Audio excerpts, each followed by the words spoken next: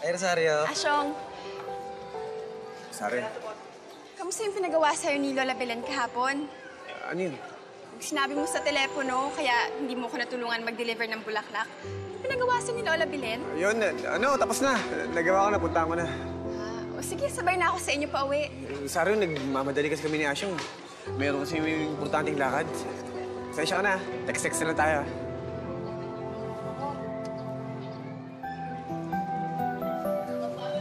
Mo, best friend, wala po mo rin eh. Hindi naman natin umiiwas kayo na. Alam mo yung mukha ni Rosario nung nagpaalam tayo? Nakakalata na. Kailangan ko gawin yun, Asyo. Hanggat hindi pa naayos ang problema ko sa mga aswang, kailangan ko layuan si Rosario. Dahil ayoko siya mapahamak.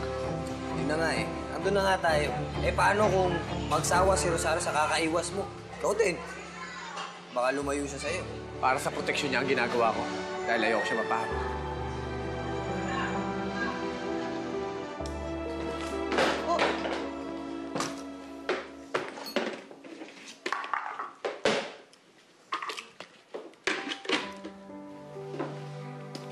Nakakainis talaga si Juan ay.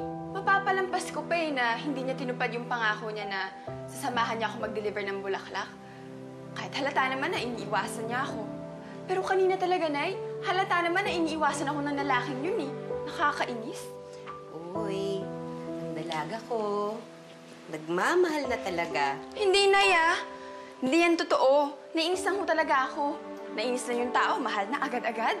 Di. O bakit? Eh, dyan nagsisimula yan, di ba? Sa painis-inis.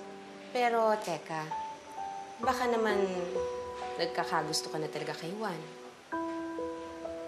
Ingat lang, anak, ha? Sana kilalanin mo munang mabuti si Juan. At sana, huwag mo nang mahulog agad ang loob sa kanya.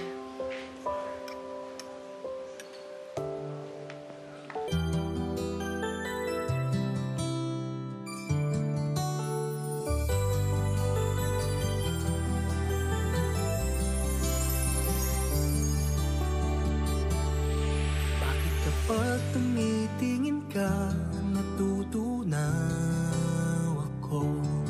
Bakit kapag lumalapit ka, kumakabog ang puso ko? Bakit kapag nandito ka, sumasaya ang araw ko? Lahat ng Ikaw, ano pangalan mo? Juan. Juan de la Cruz. Juan? Ikaw na ba yan?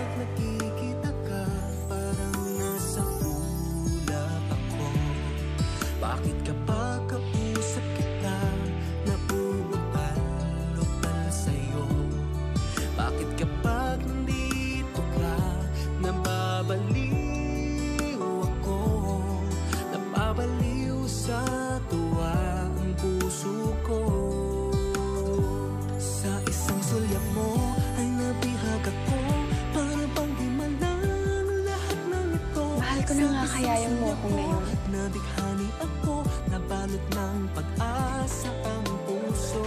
Sa isang sulyap mo, nalaman ng totoo Ang sarap mabuhay, punong-puno ng kulay. Sa isang sulyap mo, ayos na ako. Sa isang sulyap mo, napaibig